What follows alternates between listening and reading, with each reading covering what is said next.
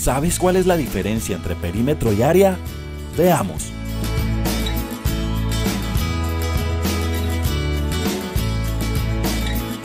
Bien, niños, saquen los botones que les pedí para la clase de hoy. Necesitaremos 36 botones. ¿Les alcanzan? Sí, y me sobran. Muy bien, entonces a trabajar. Armemos figuras. Pondremos los botones muy juntos, uno al lado del otro. ¿Qué figura haremos? Empiecen por un cuadrado. Seis botones por seis botones van justo los 36. ¿Así, maestra? Muy bien. Se pueden armar varios rectángulos. Yo armé un triángulo. Qué diferentes que pueden ser las figuras que están formadas por la misma cantidad de botones. Es cierto.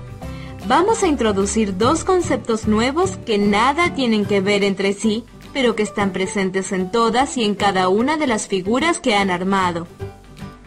¿Cuáles son? Llamaremos contorno a la totalidad de bordes que presenta la figura. ¿Vieron que todas las figuras que formaron tenían 36 botones? Sí.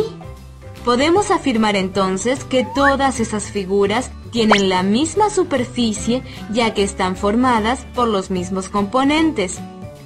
¿Podemos decir que en todas las figuras la superficie es 36 botones? En realidad, cuando damos la medida de la superficie de la figura, la llamamos área. Entonces, si tomamos un botón como unidad, el área de todas las figuras es 36. Ahora entiendo. Yo también puedo calcular mi área multiplicando mi largo por mi ancho. Muy bien, Aulis. Me parece que entendiste. Pero investiguemos un poco más. Hola, Marty. ¿A que no sabes a dónde fui el sábado? No lo sé, cuéntame. Fui con mis amigas a ver un espectáculo de magia. Lo que más me gustó fue un número de prestidigitación. Siempre me llamó la atención esa palabra. Cuéntame cómo fue eso.